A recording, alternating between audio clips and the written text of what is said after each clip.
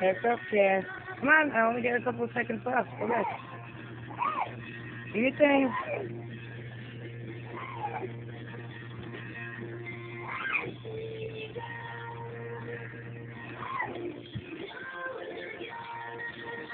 Stay baseball.